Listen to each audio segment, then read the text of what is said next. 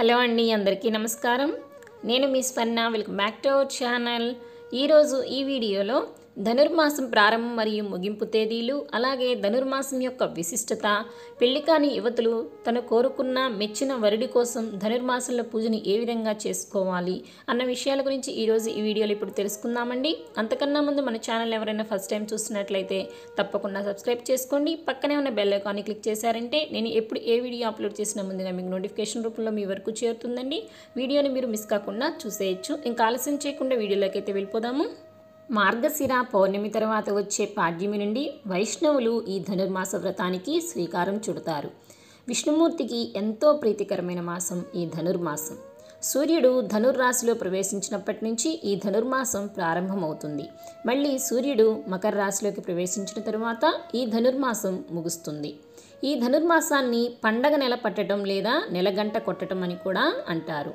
గోదాదేవి ఈ మాసమంతా కూడా శ్రీరంగనాథుణ్ణి పూజించి వరిస్తుంది. అందుకనే పెళ్ళి కాని యువతులు తాము కోరుకున్న భర్తను పొందే ఈ మాసమే ధనుర్మాసం.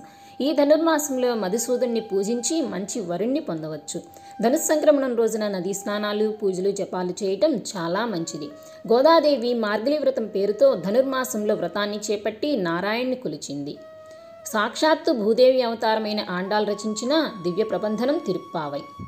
ద్రావిడ భాషలో తిరు అనగా పవిత్రం పావై అనగా వ్రతం అని అర్థం.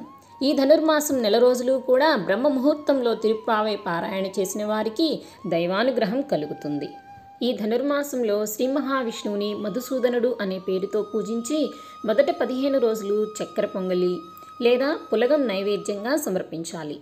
తరువాత పదిహేను రోజులు దద్దోజనాన్ని నైవేద్యంగా సమర్పించాలి. ఈ వ్రతం వల్ల మోక్షం సిద్ధిస్తుంది. ధనుర్మాసంలో శ్రీకృష్ణుడికి పెళ్ళి కాని యువతులు ఎవరైతే ఉన్నారో వారు శ్రీకృష్ణుడికి తులసీమాలను సమర్పిస్తే నచ్చిన వరుడితో వివాహం జరుగుతుంది అని పురాణాలు చెప్పబడుతున్నాయి.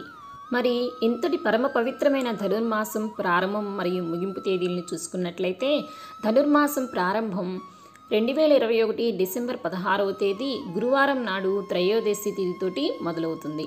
ఈరోజు సూర్యుడు మధ్యాహ్నం పన్నెండు గంటల ఇరవై ఆరు నిమిషాలకు ధనుర్రాశిలో ప్రవేశిస్తాడు. ఆ తరువాతనే మనం ఈ ధనుర్మాస పూజన అనేది ప్రారంభించుకోవాలి.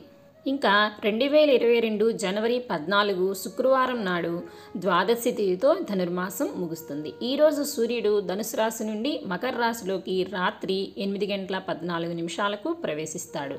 ఆ రోజుతో మనకి ధనుర్మాసం అనేది ముగుస్తుంది. ఈ ముప్పై రోజుల పాటు స్వామివారిని పూజించి ముప్పై పాసురాలను కీర్తించడం వల్ల ఆ స్వామి అనుగ్రహం తప్పకుండా కలుగుతుంది.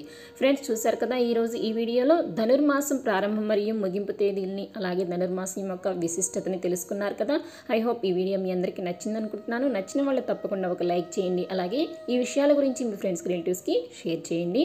మన ఛానల్ని కూడా సబ్స్క్రైబ్ చేసుకుని పక్కనే ఉన్న బెల్ ఐకాన్ని క్లిక్ చేయండి. నేను మరిన్ని మంచి విషయాలతో మరొక వీడియోలో మిమ్మల్ని కలుసుకుంటానండి. అంతవరకు సెలవు నమస్కారం. Thanks for watching